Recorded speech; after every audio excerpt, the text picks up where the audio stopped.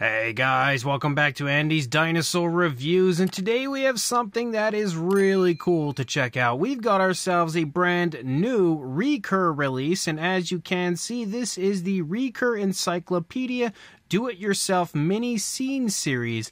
It includes 60 scene pieces for building various scenes, and you can see some images here on the front of uh, actually some of the dinosaur figures that are included in this set. And honestly, Recur has made such a turnaround recently. I've always enjoyed their products, but not everyone was a massive fan of their stuff. However, recently they've just uh, unveiled some really impressive figures on us, and I feel like these as well are probably going to be some of the nicest figures figures we've seen from Recur. I have seen the images of this again on the listing on Amazon. I actually had seen them prior to that as well, so I'm actually really hyped to get a look at this and see what the newer Recur figures look like. You can see inside there, there's like some sort of a an interesting creature kind of looking at us. There's also a little keyhole over here, and if you kind of look through, it really does have the visual of being an encyclopedia, which is really cool. Here on the back, you kind of have a sneak peek of what is included inside as far as the different figures and everything,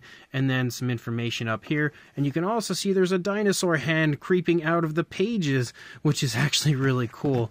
Even more interesting about this is it's actually locked right now. You can't get in unless you come over here and you press this button here and then you pull out the key. You can see the key here goes into the lock and unlocks the book and we can now open it up to see all the fun stuff inside that's already falling out. You've got a whole bunch of stuff here. Let's go ahead and actually just dump everything out here on the review station and then take the book out of here.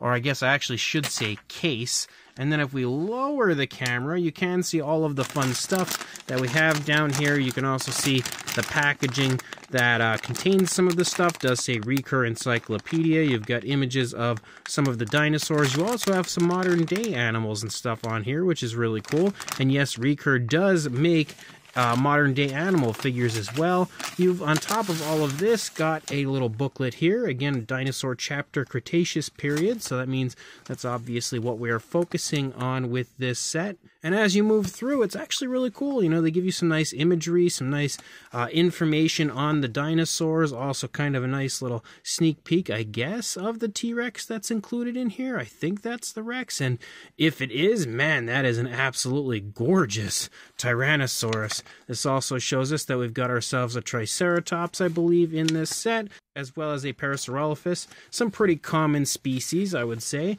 A Quetzalcoatlus in here, and again, if that's what the figure looks like, that is absolutely incredible looking.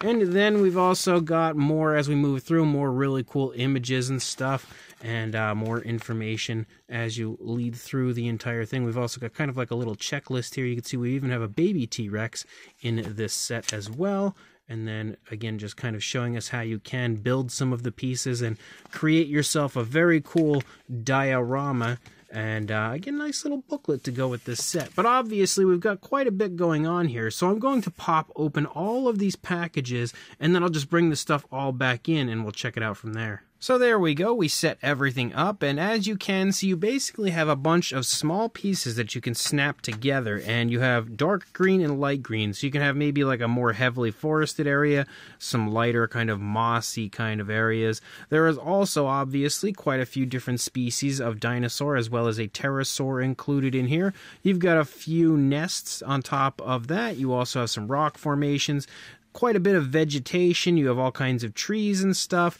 You even have the leg of a dinosaur that could be the meal for your T Rex. Again, it's actually really cool. Definitely a good bit of fun stuff in here. And there's a lot of different possibilities as far as what you can, you know, build with this, especially when it comes to the trees alone. You can, uh, you know, increase the size, decrease the size of the trees, build them any which way you want. Everything almost on here seems interchangeable with everything everything else, which is super, super cool. And the figures themselves, the dinosaurs, actually look awesome, especially the T Rex. I am a massive fan of that T Rex. So, as always, let's go ahead and jump straight to a closer look at everything that we have here, and we'll check it out from there. So when you look at the trees, you can see again the trees actually look really cool. The vegetation that you can put on top does look quite nice. The leaves are sculpted pretty decently. And as you can see, there's a little hole up here on the top. So you can pull this piece off, put a different piece in there, and again, just basically arrange the tree however you want, which definitely helps again when it comes to creating different areas, different scenes, different, you know, uh, dinosaur toy photography or just in general different landscapes for your dinosaurs to inhabit. And then as you move down, you can see again that the entire trunk of the tree, again, all of this stuff pops off. So if you want to, you can pull off the vegetation, you can pull that area off right there, and as you can see, you've got all of these little uh, like pegs to basically reassemble everything and then put it all back together. And as you lead down through the course of the tree itself, you can see there are numerous different sections which you can use to again build the tree up as high as you want or as low as you want. The actual tree itself, when it comes to the Fine detail is extremely impressive as well. Again, it wouldn't be uh, a bad idea to give these guys more of a serious repaint if you choose to.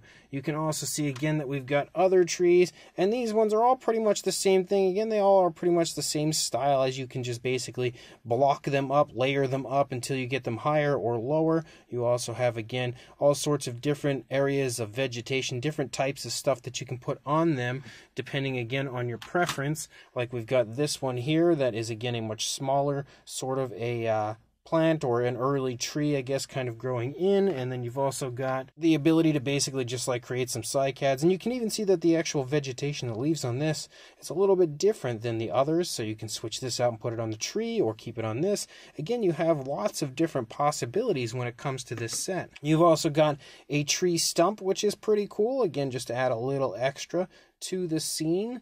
And if you really go all out and get like some sand or some dirt or something, you can definitely, again, put together some really cool dioramas with this stuff. Again, yet another tree right there. Basically, what we've already gone over. And then you also have some nests. And what's cool is you can see that we have the eggs sitting within the nice little earthy area here, which is where our nest, I guess, would be laying. You can actually take the eggs out, which you can see right there. Again, definitely really fun. And you've actually got two of those, again, when it comes to the eggs and the little nest.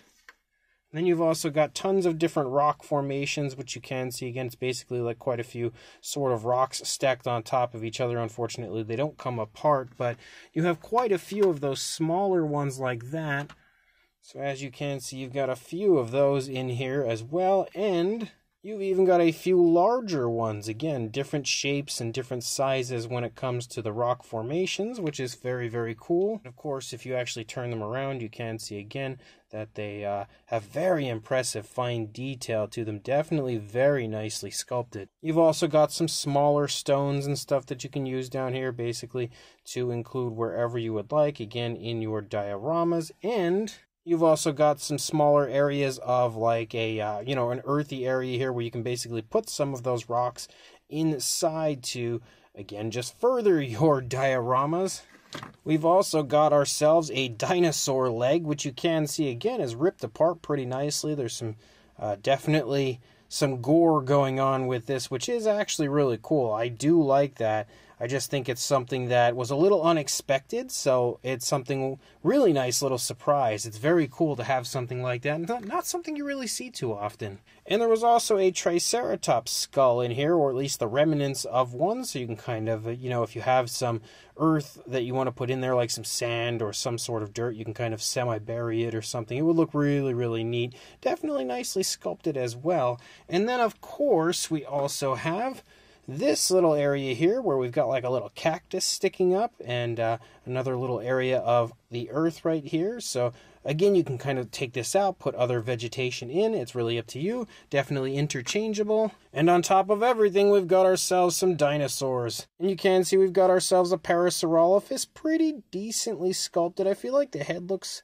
a little off. Definitely like the eye placement is off a little bit, but Overall, it's not too bad. You can see that the beak is sculpted pretty nicely. We can see the nostrils right there, the crest and everything. Also, a nice color scheme, I think, for the Parasaurolophus, which is pretty cool. I like the browns and the orange and stuff moving along. Not too flashy, but flashy enough, I would say. You can see the head sculpt over here on this side. We've also got a lighter tone for the underside and a nice little design as we move through the course of the figure. Also some decent skin texture. It's kind of fine overall, but it's definitely there. You can see you've got all the muscle definition and everything like you would like to see on a figure like this. And uh, the feet are nicely sculpted. No nail paint or anything, but they are just basically mini figures. So I don't expect, you know, uh, award winning paint jobs, I guess you could say decent detail for the underside. You have a nice little curve to the tail as you lead out. So the Parasaurolophus is actually pretty cool looking. And again, these figures are so nice, I wouldn't mind repainting them just to give them more of like a highly detailed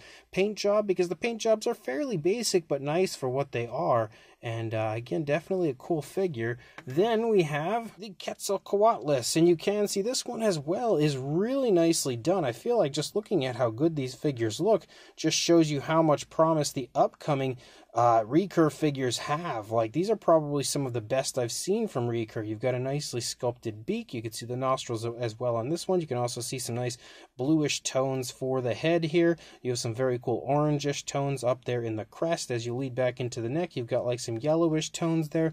Briefly, you also have a lighter tone moving down along the underside. If you get nice and close, you can see that we do have pycnofibers on our Quetzalcoatlus. You can see it up there in the eye area as well. As you continue to lead down, you've got kind of a glossy look for the figure overall, which I'm not a huge fan of, but I don't think it really takes away from the figure or anything. The skin detail is also really nicely done as you move through the course of the figure. I think it all does look really good, and uh, again, very highly detailed. The pose looks very familiar to me, though offhand, I'm not exactly remembering what pterosaur I've seen a very similar pose on it, but it does look very, very similar overall. But again, it looks very nice. The coloration looks good. I like the orange as we move through the course of the wings there. You can see more of the pycnofibers as you move down through the course of the figure. The underside as well sports some very nice detailing. And again, over here, same deal. Obviously, a bit of a different appearance from one side to the other. But it is, again, considering it's a minifigure, like it's really well done in both the sculpt and paint aspect. Probably one of the best, uh, again, figures overall that I've seen from Recur up until this point. We've also got ourselves a Triceratops, and you can see the Triceratops again, super highly detailed. When you move through the course of the body, look at how crazy impressive that skin texture and skin detail is. All the small skin wrinkles and folds and stuff throughout. It has a very nice osteoderm like appearance moving through the body, kind of like some scutes, like rows of scutes also running along the back there. Decent looking coloration as we have like a nice yellowish tone for the primary body. You've also got some brown spots moving through. You have a lighter tone for the underside as well. And again, look at how good the skin detail looks on the underside of the stomach. Even the undersides of the feet are very nicely sculpted. As you move up here into the face, our Triceratops is sculpted with its mouth in an open position. You can see the horns are uh, painted with a nice glossy dark brown. We also have a darker tone moving over the tip of the beak, and the entire underside of the beak here is painted with that dark tone. You can see the nostrils right there. The inside of the mouth sports a nice pinkish tone as well. And if we get nice and close, you can see teeth are actually sculpted out on the inside of the mouth of the Triceratops and everything. We've got the tongue in there.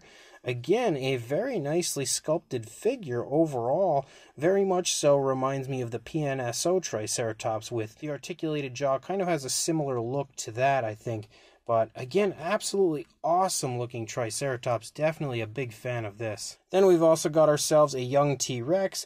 Obviously, this is a uh, very young Rex. Kind of has like a little bit, almost looks like it has like some slight feathering to it sort of looks like that. Also, definitely is a little area of feathering out here on the tip of the tail. It's in kind of a crouching position. You could see some browns there for the feet, a nice yellowish tone for the primary body color, a light tone for the underside. You can see the mouth is sculpted in a closed position. We've got the eye painted with a white and a black pupil. You can see the nostrils and everything. The dinosaur even has lips, which is pretty cool because you don't see the teeth or anything right there, which is a nice touch for the figure as a whole. And uh, again, not really too much going on with this one. Basically, just a young Rex kind of crouching, looking up at its mother. But it's decently done. And then, in my opinion, the star of the show would be the adult T Rex. And That is absolutely fantastic looking, if you ask me. Very nice looking fine detail. When you look at the skin texture, that looks extremely, extremely nice. You've got the eye painted with a white, given a black pupil. You have the nostrils again sculpted out. You've also got the teeth there sculpted out and painted on the inside of the mouth. Nice pinkish tone for the inside. And it even has a bit of a glossy look to it in there as well. Again, it's uh, one of those big, beefy, chunky, very impressive looking tyrannosaurs, I think. I also quite like the like orangish tones on this. Not something I would have expected to work so nicely on a T-Rex, but it really does. There's a very nice striping effect with kind of like a dark purple moving along the course of the back, and that striping effect is really nicely applied. You can see how smooth and naturalistically applied it is overall. And then as you move through the figure, again, look at all the really nice fine detail. Absolutely one of the best sculpted Recur figures I have ever seen. And again, one of the reasons I am so hyped for everything that they are going to be releasing, because if this is just a glimpse of the quality of their newer figures, like wow, you can see as you move down into the foot sculpt, the foot sculpt looks nice. We've got a very bird like foot sculpt. You can see that the nails are painted with a darker tone, a little sloppiness for sure when it comes to the nails, but they're not too terrible. That middle nail specifically is definitely a bit sloppy. You can see though that the dew claws did get paint, which is nice. Again, if we come over here, you can even see that the fingernails do have paintwork right there. You can see the arms are nice and small and held into the body in a really nice naturalistic way. Very cool pose for the T-Rex as well as it's kind of just walking in and sort of leaning down, which helps it to look nice in a diorama with that baby. You can see the foot sculpt looks really good over here. And again, as you move up through the course of the leg, look at all of the slight skin wrinkles and skin folds and stuff as you move along. The muscle definition and everything is also nicely displayed on the T-Rex. So again, I would actually say that this right here is probably Recur's best figure ever up until this point, or at least when it comes to my personal preference, it's definitely my new favorite when it comes to Recur. This Rex is awesome. Now, as far as a size goes, I'm not going to measure each and every one of these figures. What I will do is measure the Rex because it's the largest of all. So you're looking at about the five and three quarter inch range or about 14 centimeters in length. And for a height, the tail is definitely the highest point, about two and a half inches or six and a half centimeters. But I think what would probably work the best in this instance would be a size comparison. So let's jump straight to that. So there is Mr. Papo T-Rex, the Attack Pack Colovosaurus, Robert Muldoon, and the CollectA human being next to our Recur Dinosaur Encyclopedia set. And you can see again that the figures are fairly small overall, even though they are incredibly impressive in fine detail for their size. They are definitely in the minifigure size range. Now, I don't think we need too many size comparisons this time around, but for another one that I feel like is definitely a must, we have a Mattel Mini and a Captivz Mini. So you can see when it comes to like the Triceratops, if we turn it here, you are looking at the Captivz Triceratops and the Recur version. They're very similar in size. The Recur version is slightly larger, but very similar in size overall. Same deal here for the Parasaurolophus. You can see if we put the two together, they are extremely similar in size. Very different as far as the poses and stuff go, but very similar in size. So that means that the T-Rex there is just a little bit larger than all of the others. The Quetzalcoatlus here would also be very similar in size to the Captivz version, maybe a little bit smaller, but you can very clearly see, I think, that these are all very much so in the minifigure size range. So this Recur Dinosaur Encyclopedia Do-It-Yourself Diorama set is actually really cool, and absolutely is one of the best Recur releases I think that we've had overall. Like everything about this really is quite phenomenal. And uh, again, you've got so much that you can do with this set, especially if you are into filming dinosaur toy photography and now having all of these, you know, vegetation, these stone, like these rock formation stones, whatever you want to call them, and all of the other extras, you can mix and match with like the Captivz minis and the Mattel minis and really, you know, create a lot of different different dioramas that you can use all of this stuff in, especially if you have a nice setup with, like I said, like some sand or like an earthy area where you can kind of plant the vegetation in. I feel like you could really use a lot of this stuff to create some absolutely epic dino toy photography. And the fact that they went all out with this release and again gave you just a ton of different stuff that you can include, like nests and trees and different areas of vegetation and rock formations, a tree stump. You've also got a cactus, a you know, a skull of a triceratops, the leg of a dinosaur that our T Rex obviously was feeding on at some point. That just shows you that, again, Recur really did want to give you a great product, and in my opinion, they absolutely have. And the dinosaurs in this set as well are awesome. I would say probably the best dinosaurs, and of course, pterosaur, that we've seen from Recur overall up until this point before the next round of figures release from them, which, again, uh, they look to be easily Recur's best overall, but You've got five different species here. This time you've got a Triceratops, which is really nicely done. You've got a Parasaurolophus, which looks a little off in certain areas, but overall is a nicely sculpted figure as well. You have a Quetzalcoatlus, which I think is absolutely gorgeous, and then an adult and young Tyrannosaurus Rex. Obviously, they don't size up to each other perfectly unless we're going to consider that young Rex, you know, not a baby baby, a little bit older because he's not too far off, I guess, from being like a juvenile or something. I don't know. He just looks a little bigger than a hatchling to me, but he's also nicely sculpted, and the adult Rex is easily my new favorite when it comes to any figure that has ever come from Recur. And that's really saying something because I actually like their figures a lot, but that Rex is just awesome if you ask me.